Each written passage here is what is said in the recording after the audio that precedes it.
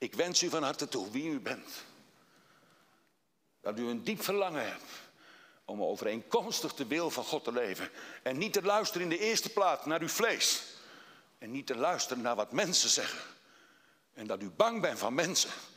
Maar dat u zou wandelen overeenkomstig het woord. Daar hebben we biddag voor nodig. Om standvastig te zijn, om getrouwd te zijn. Om op de plaats te blijven waar God ons gezet heeft. Zo gaan we straks naar huis. Misschien verlangt u naar een lang leven, naar een voorspoedig leven. Misschien verlangt u naar gezondheid. Maar lieve vriend, lieve vriendin, het leven gaat voorbij met al haar begeerlijkheden.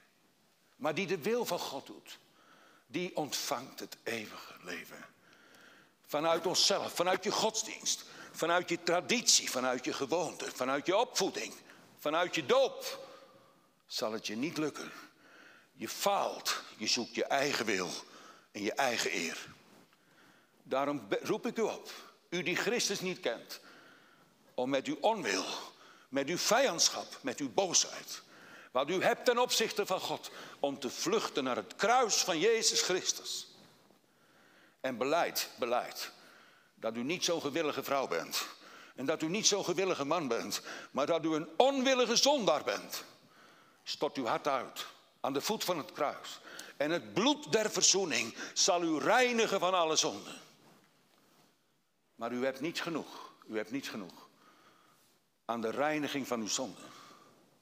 U hebt niet genoeg dat God uw schuld en zonde wegdoet. Maar u hebt een nieuw hart nodig. Een nieuw hart wat de wil van God doet. U hebt nodig dat uw wil vernieuwd wordt. En dat u van harte, voortaan van harte, niet schijnheilig, niet bij wijze van spreken, niet aan de buitenkant, maar dat u van binnenuit naar de wil van God wenst te leven. En dan wordt u dan beproefd. Al kost het uw baan, al kost het uw leven, al kost het uw portemonnee. Zeg mij, bent u bereid om de wil van God te willen? Als God het goed denkt om je zoon te gaan offeren op de berg van Moria, mag God dan met uw zoon doen wat hij wil. En Abraham ging door het geloof de berg op. En Abraham offerde zijn eigen zoon.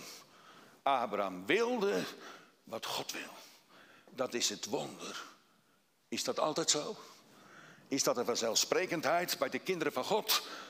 Ja, ze hebben een nieuwe wil gekregen. Maar ik zei al, ze hebben ook nog te maken in de komende tijd met het vlees, met het lichaam der zonde.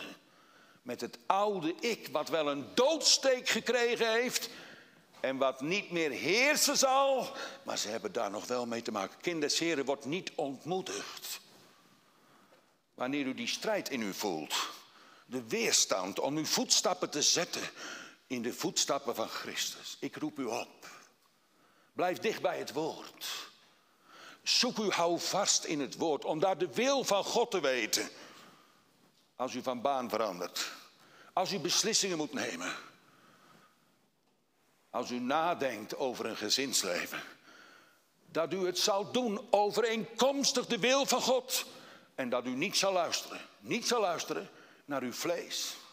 Dat u niet zal luisteren naar eergevoel en genot. Maar dat u de wil van God begeert te beoefenen.